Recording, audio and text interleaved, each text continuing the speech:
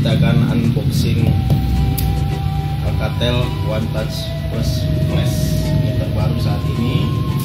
Konon katanya dia eh, disejajarkan dengan K80 punyanya Lenovo dan ada rivalnya juga A7000 Lenovo juga. Tapi kita lihat dulu spek-spek yang ada saat ini. Kita lihat eh, lima setengah HD eh, dua-duanya 4G dia jalan dua-duanya. Terus apa nih? Eh, 8 core ya core-nya 8 terus kamera belakangnya eh, 13 MB eh, megapiksel. Terus kamera depannya itu 8 megapiksel. Yang sering seneng selfie mandiri itu mantap banget nih bro. Wah. Terus baterainya baterainya itu 3500 mAh itu lebih tinggi dari A7000 rivalnya nih terus eh, SIM cardnya dua yang pasti Standby. Anu, ah? Iya standby. Standby dual, dual standby. Ah, dua standby. Oke, kalau gitu kita mulai unboxing aja atau buka-buka bongkar-bongkar barang baru ya. Eh, ini dapat di salah satu online shop katanya terbesar di ini sebut aja Lazada.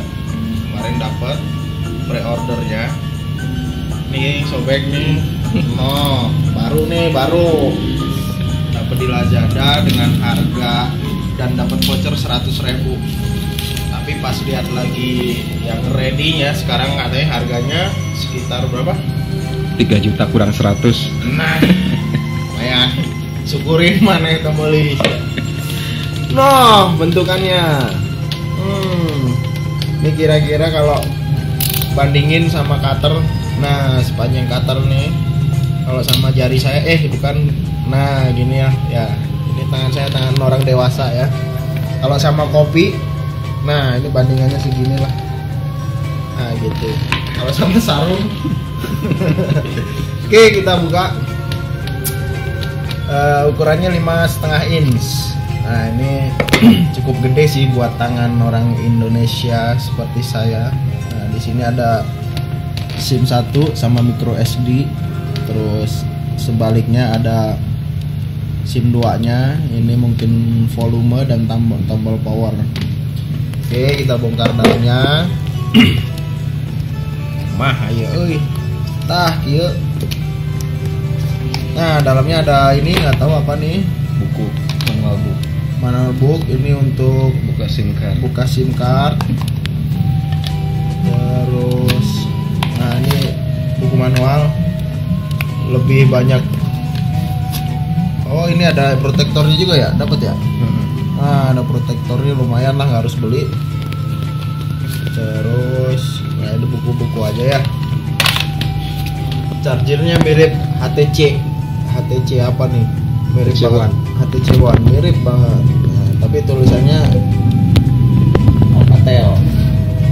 Tulisannya Alcatel. Wah ini ada punch apa nih? Punch. Punchnya Kabel USB. isinya kabel USB kabel USB dan ini earphone. Earphone-nya ya lumayan lah tapi jarang dipakai juga. Karena ada earphone bluetooth terus kabel USB biasa mungkin ya. Nah ya USB biasa seri seri B apa seri A nih ya? Seri A mungkin. Nah, lebih gendut dikit. Ya setelah kita unboxing eh, bongkar-bongkar kardusnya kita lihat belakangnya. Ini bisa dikletek nih. Ada panduan-panduan yang tadi SIM A, SIM 1, SIM 2 dan lain-lainnya ntar aja kleteknya biar kelihatan baru. Terus mau gimana kita nyoba nyalain ya? Coba kita nyalain. Tapi belum pakai SIM card. Nah openingnya opening eh, screennya tulisan. Wah bunyinya. Pakai skip cap. OS nya masih KitKat tapi dia ready lollipop jadi eh, bakal ada upgrade sebentar lagi mungkin jadi lollipop. Eh, ya tadi udah eh, bahasa kita pilih bahasa Inggris biar kekinian. Nggak tahu tapi lebih enak bahasa Inggris sebenarnya kalau bang bahasa Inggris. Ini insert SIM card karena belum punya SIM cardnya kita skip aja. Kita lanjut lewat. Nah wifi nya itu nyari kita ke ini nih juragan metikolik nah passwordnya apa mang? Kalau nggak kita skip aja lah. Di dan dulu cancel kita skip. Ya. Apa nih? Skip anyway. Eh, skip anyway. Terus let ever tahu lah next aja lah. Ini Indo ada nggak Indonesia plus 7 GMT nya plus 7 Indonesia tuh sama kayak Bangkok. Ini masih plus satu. Nah ini ada Bangkok nih. Nah kita pakai Bangkok ya. Just oke next. Next lagi. Nah loading dia. Loading.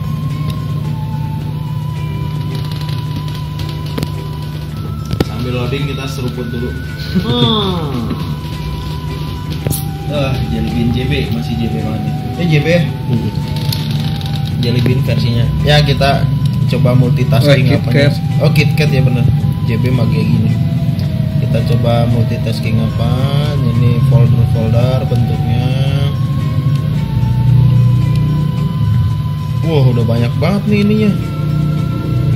Si Aplikasi. aplikasi-aplikasi yang bawaannya RAM-nya 2 giga. Jadi aplikasi banyak nggak masalah.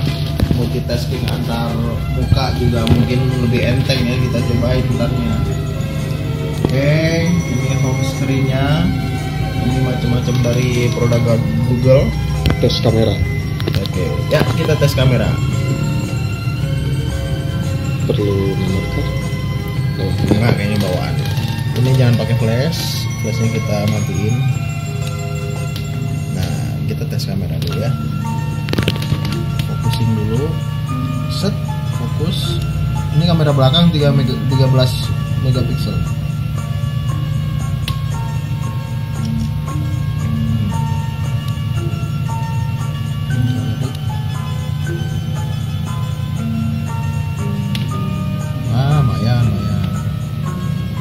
masih settingan default Ya, ini masih defaultnya bawaan dari kamera belum kita setting-setting.